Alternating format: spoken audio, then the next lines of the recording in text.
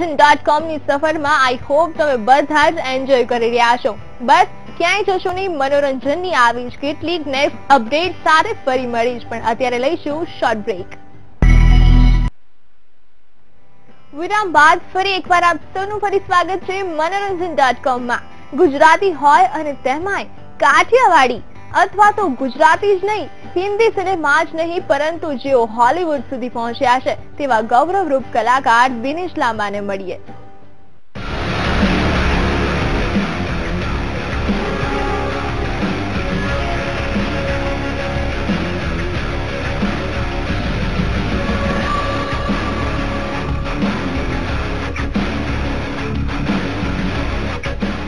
ગુજરાતના ખૂબ જ પ્રસિદ્ધ અભિનેતા દિનેશ લાંબા આપણી સાથે છે. હવે તેમની સાથે વાત કરીએ. દિનેશભાઈ નમસ્કાર.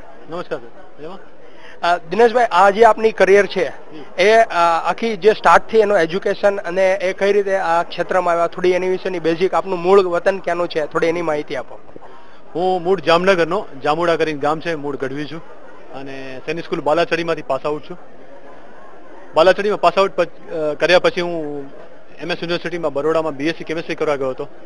અને ખબર પડી કે નાટકની કોલેજ છે ફેકલ્ટી ઓફ પરફોર્મિંગ આર્ટ્સ એમાં ડ્રામેટિક્સમાં ડિગ્રી કરી અને ડિગ્રી પતાવીને ડાયરેક્ટ બોમ્બે ગયો. અને બોમ્બેની અંદર નાટકો ફિલ્મો એડ એડ ફિલ્મ્સ એમાં કામ કામ કરતો થયો.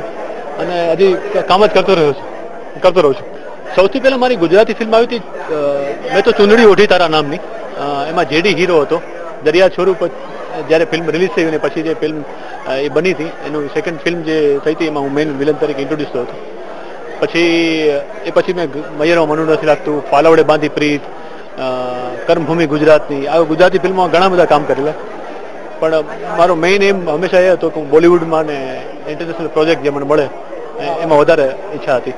મને, હું કાઠિયાવાડનો પહેલો છોકરો હતો જે સાઉથમાં કામ કરતો હતો, મલયાલમમાં કામ કરતો હતો, રાજસ્થાનમાં કામ કરતો હતો, ગુજરાતીમાં કરતો હતો.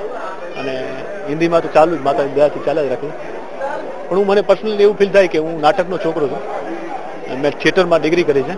અને નાટક એ મારો મૂળ હું એને એને મૂળિયા હું છોડતો નથી. અને એ મૂળિયાને લીધે જે પણ છે એને લીધે હું આજકાલ કામ કરી રહ્યો છું. દિનેશભાઈ આપે સાઉથની ઇન્ડસ્ટ્રી હોય કે પછી મુંબઈની ઇન્ડસ્ટ્રી હોય અને ગુજરાતની ઇન્ડસ્ટ્રી તમે એવા વ્યક્તિ છો ત્રણેય ઇન્ડસ્ટ્રીમાં કામ કર્યું છે. આપને આ ઇન્ડસ્ટ્રી અને એનું વર્ક કેવું લાગે છે? આપણામાં માત્ર એક જ ખામી છે ગુજરાતી ફિલ્મમાં. અને ફિલ્મોની અંદર હવે હવે હવે એનો સુધા- સુધારો થઈ રહ્યો છે. અને એ એ છે કે પ્રોફેશનલિઝમ છે ને આપણા ગુજરાતમાં બહુ ઓછું છે. અને પ્રોફેશનલિઝમ આવી જાય ને, તો મને લાગતું નથી ગુજરાતી કોઈ બીટ કરીએ કે આપણે આપણી ફિલ્મો પણ સારી જગ્યાએ જેમ સમ તામિલ ને તેલુગુ ને જેમ મલયાલમ ફિલ્મો બને છે, એવી સારી ફિલ્મો બનતી રહેશે અને હવે બનવું બનવા મળી છે. ક્યાંય આપણે કંઈ કહેવાની જરૂર નથી. લોકો બનાવી રહ્યા છે. આની શરૂઆત અમે લોકોએ કરેલી. બે હજાર દસની અંદર મેં એક ફિલ્મ બનાવી હતી તુજ મારી જિંદગી. અને જ્યારે મલ્ટીપ્લેક્સમાં આવી ત્યારે અમારે જોવા માટે બાર જણા આવ્યા હતા. અને એ મલ્ટીપ્લેક્સને ધ્યાનમાં રાખીને અમે ઘણી બધી ફિલ્મોનો ટ્રાય પ્રયત્ન કરેલો. અત્યારે પણ ઇન્ડસ્ટ્રી સારી છે ને, એ પહેલાં પણ ઇન્ડસ્ટ્રી સારી જ હતી. અને હું તમને સાચું કહું તો, આપણે બધા જેટલા ગુજરાતી ફિલ્મ જેટલા વર્ષોથી ચાલતી હતી એ બધાને સેલ્યુટ મારવો જોઈએ. એ લોકોને સલામ મારવો જોઈએ. કારણ કે અત્યાર સુધી ગુજરાતી ફિલ્મને જીવિત રાખી.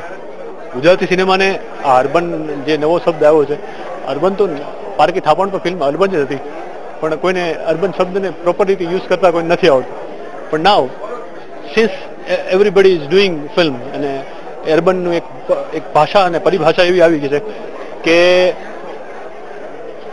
એપિક રેડ કેમેરા હોય પેન્ટ શર્ટ હોય, અને નવી સ્ટાઇલાઇઝના ગીતો હોય, અને સિટીમાં શું થતું હોય એને અર્બન કહે છે બધા.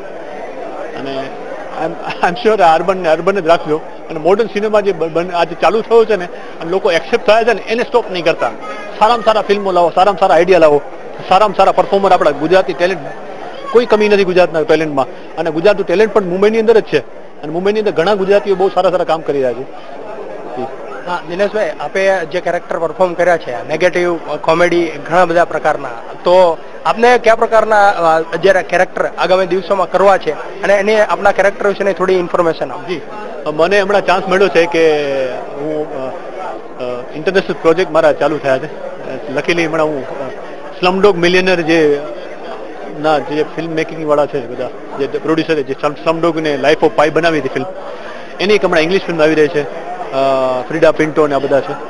એમાં હું પણ છું. અને this is our my international પ્રોજેક્ટની જર્ની ચાલુ થઈ છે. આવનારા ભવિષ્યમાં મને બીજા બીજા બે પ્રોજેક્ટ મળ્યા છે એ ફિલ્મ લીધે. હું બહુ બહુ અર્લી છું આના વિશે કહેવા માટે, પણ પણ તમને એક કાઠિયાવાડી છોકરો ઇંગ્લિશ ફિલ્મમાં આવતો થશે, એની તમને મોજ આવશે. જોજો તમે બધા. અને તમને એક અલગ ટાઈપનો એક આર્ટિસ્ટ તમને જોવા મળશે. જે આર્ટિસ્ટ કોઈક સીમિત કરતા હતા અને કોમેડી જ આવડે છે અને નેગેટિવ જ આવડે છે અને ઇમોશન જ આવડે છે. પણ એક એક આર્ટિસ્ટ આર્ટિસ્ટ હોય છે અને એ આર્ટિસ્ટની તમારે એની ડેફ તમે જોવા મળશે કદાચ આવનારી ફિલ્મોમાં મારી દિનેશભાઈ અંતે એક આપના મુખે કોઈ પણ ડાયલોગ હોય કોઈ પણ યાદગાર શબ્દો હોય આપના ગમતા હોય પ્લીઝ અમે માર કે તુમે જન્નત મિલતે તુમે માર કે હમે અમારા ભગવાન મિલતા હે ભગવાન! બાત કરતા હે.